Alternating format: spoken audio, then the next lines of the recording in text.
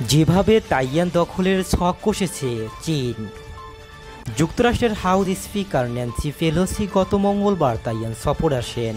এর প্রতিবাদে তাইয়ানের চারপাশে সামরিক মহড়া চালাচ্ছে চীন। যুক্তরাষ্ট্র ও চীনের একজন রাজনৈতিক বিশেষজ্ঞ জানিয়েছেন, তাইয়ান দখল করতে চীনকে সরাসরি কোনো আক্রমণ চালাতে হবে না। সাম্প্রতিক সময়ে চীনের পিপলস লিবারেশন আর্মি যে মহড়া দিয়েছে, তাতে দেখা গেছে চীন প্রথমে চারপাশ থেকে তাইয়ানকে ঘিরে ধরবে।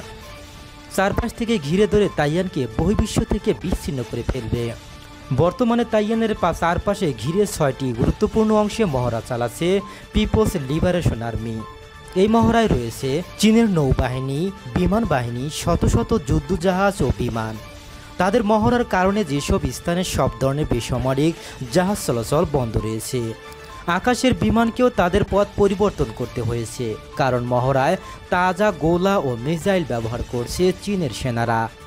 চীনের এই মহড়ায় ব্যাপারে চীন যুক্তরাষ্ট্রের রাজনৈতিক বিশেষজ্ঞ ও পিপলস লিবারেশন আর্মির ন্যাশনাল ডিফেন্স ইউনিভার্সিটির প্রফেসর মেং জিয়াংকিং বলেছেন, চীন তাইয়ানকে ঘিরে যে ছয়টি অঞ্চলকে মহড়ার জন্য বেছে নিয়েছে তা সবচাইতে গুরুত্বপূর্ণ এবং সবচেয়ে গুরুত্বপূর্ণ সামরিক স্থাপনায় হামলা চালাতে পারবে এবং যদি কোনো দেশ তাইয়ানকে সহায়তা করতে আসার চেষ্টা করে তাহলে মিজাইল হামলার মাধ্যমে তাদের হটিয়ে দিতে পারবে।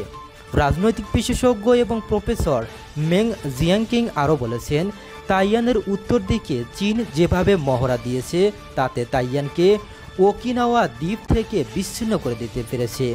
এই দ্বীপে জাপান এবং যুক্তরাষ্ট্রের সামরিক স্থাপনা রয়েছে। তিনি আরও বলেছেন, পিপলস লিবারেশন আর্মির সেনারা দেখিয়েছে, দক্ষিণ দিকে বাসি চ্যানেল বন্ধ করে দিতে পারবে।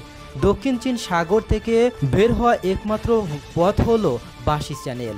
অন্যদিকে পূর্ব দিকে মহড়া চালানো সেনারা দেখিয়েছে, নির্দিষ্ট লক্ষ্যে মিসাইল হামলা চালিয়ে বিদেশি যুদ্ধ জাহাজকে তাইয়ানের জলসীমা থেকে বাইরে রাখতে পারবে চীন।